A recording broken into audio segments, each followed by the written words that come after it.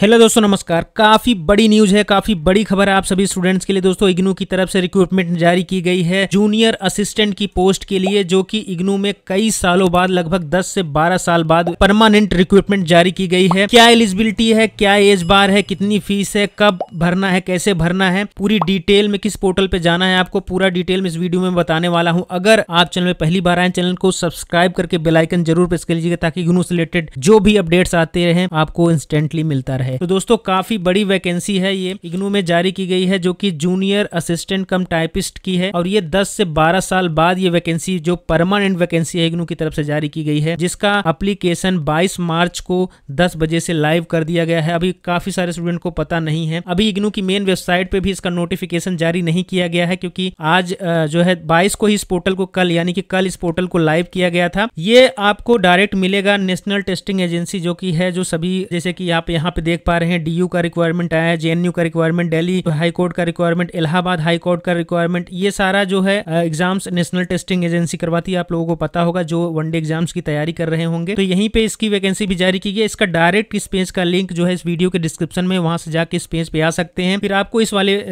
Page पे click करना है और यहाँ पे ये पेज ओपन हो जाएगा। और किसी वैकेंसी में जाना चाहते हैं तो यहाँ पे भी उनका लिंक्स ओपन है हालाँकि लगभग डेट ओवर हो चुकी है सभी की। और आ, कल की डेट में इसको जारी किया गया है तो यहाँ पे आएँगे तो इस पे जो है एक आपको यहाँ पे नोटिफिकेशन मिल जाएगा पहली बात तो। कब स्टार्ट हुई है वो मेंशन है यहाँ पे। ठीक है, कब लास्ट डेट है उसको यहाँ पे मेंशन किया गया है। तो ध्यान से इसको देख लीजिएगा, इस पेज को पढ़ लीजिए। अब आते हैं आगे जो पूरा डिटेल में समझाना है आप लोगों को। इसमें फॉर्म भरने के लिए प्रोसेस तो लास्ट में मेंशन किया गया है। कुछ इंपॉर्टेंट पॉइंट है जो मैं आपको आगे बताना चाहूँगा कि वैकेंसी टोटल कितनी है। टोटल वैकेंसी इसमें आई है 200 अब कौन से कैटेगरी के लिए कितनी वैकेंसी है, वहाँ पे आगे बताऊँगा मैं वीडियो में। बाकी यहाँ पे ये चीज़ें मेंशन की गई है इंक्वायरी के लिए इन्फॉर्मेशन ग्लांस में आप देखेंगे तो यहाँ पे कब ओपन है, कब एंड होगी और यहाँ पे अगर कोई इंक्वायरी चाहिए तो यहाँ पे आप कॉल कर सकते हैं। अनरिजर्व ओबीसी जो है ईडब्ल्यू e के लिए हज़ार रुपए फ़ीस है जो है इस फॉर्म को भरने के लिए और एस सी फीमेल के लिए है सिक्स हंड्रेड रुपीज़ और पीडब्ल्यू जो कैंडिडेट है उनके लिए नील फ़ीस है। ठीक है तो ये थोड़ा आप इसको पढ़िएगा। बाकी अब आते हैं कितनी वैकेंसीज आई हैं और क्या क्या इस में एग्ज़ाम में पूछा जाएगा। और ये फॉर्म भरने से पहले ये ज़रूर पढ़िएगा क्या क्या इसमें लगने वाला है। आप वो सारी चीज़ें लेके बैठिए क्योंकि आप अगर वनडे एग्ज़ाम्स की तैयारी कर रहे हैं या फिर किसी ऐसे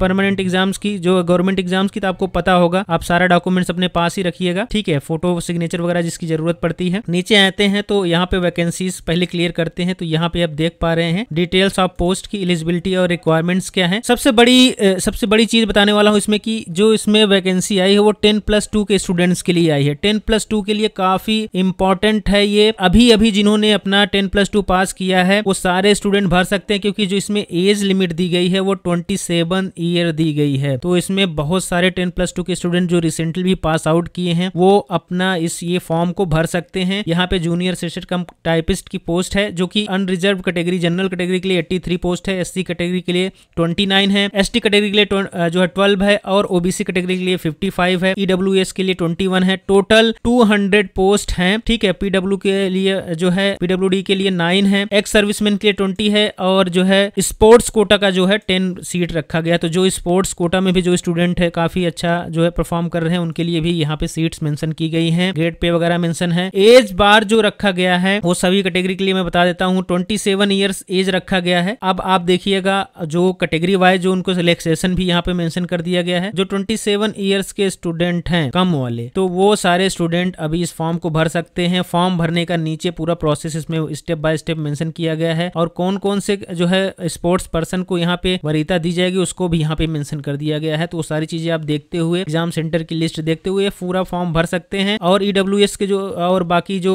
पीडब्ल्यू कैंडिडेट्स हैं, उनका फॉर्मेट में किसमें कैसे देना रहेगा, वो चीज़ भी मेंशन किया गया है। नीचे फॉर्म कैसे भरना स्टेप बाय स्टेप यहाँ पे एनेक्सा रेट में मेंशन है। तो यहाँ पे आप देखिएगा नीचे कैसे फॉर्म भरना रहेगा। तो काफ़ी सुनहरा मौका है आप सभी स्टूडेंट्स के जो रिसेंटली भी अपना टेन प्लस टू क्लियर किए हैं। साथ में आप बैचलर डिग्री में एडमिशन लीजिए। साथ ही साथ इस एग्ज़ाम की तैयारी करना शुरू कर दीजिए। यहाँ पे क्या क्या यहाँ पे पूछा भी जाएगा क्या इसमें सिलेबस आने वाला है। यहाँ पे उस चीज़ को भी मेंशन किया गया है। तो ये भी काफ़ी इंपॉर्टेंट है। आप सभी स्टूडेंट जो रिसेंटली भी ten plus two pass out करके आए होंगे, उनके लिए काफ़ी अच्छा मौका ये है कि उनका जो है, उनको ज़्यादा पढ़ाई भी नहीं करनी पड़ेगी, जो रिवाइज करना रहेगा, ठीक है? तो यहाँ पे general awareness thirty question reasoning thirty question आपका मैथमेटिक्स जो है thirty question Hindi English thirty question और कंप्यूटर नॉलेज भी होना चाहिए, जो थर्टी वन मार्क्स का टोटल होने वाला है यहाँ पे। तो पहला पहला टीयर रहेगा जो कि स्किल टेस्ट होगा सीबीटी कंप्यूटर बेस्ड दूसरा जो होगा वो कंप्यूटर बेस्ड टेस्ट होगा, जो जिसमें आपको कंप्यूटर टाइपिंग टेस्ट लिया जाएगा, जिसमें 40 वर्ड पर मिनट आपकी इंग्लिश टाइपिंग होनी चाहिए और आपका 35 वर्ड पर मिनट हिंदी की टाइपिंग होनी चाहिए, जो कि ऊपर ही मेंशन कर दिया गया है, जहाँ पे पोस्ट मेंशन की गई है। तो एक चीज़ ये भी ध्यान रखिएगा जिन भी स्टूडेंट की टाइपिंग नहीं आती, जिनको वो अभी से टाइपिंग की प्रैक्टिस करना स्टार्ट कर देंगे, क्योंकि दोनों ही टाइपिंग एंड करके मांगे है और यहाँ पे नहीं लिखा है कि कोई एक ही चाहिए। तो और भी इससे रिलेटेड कोई जानकारी चाहिए तो आप कमेंट बॉक्स में लिख सकते हैं। बाकी ये डिटेल पढ़ेंगे तो आपको जानकारी वैसे ही मिल जाएगी। ये वीडियो पसंद आई तो लाइक कीजिए, अपने दोस्तों के साथ इसको ज़्यादा से ज़्यादा शेयर कर लीजिए। तो ये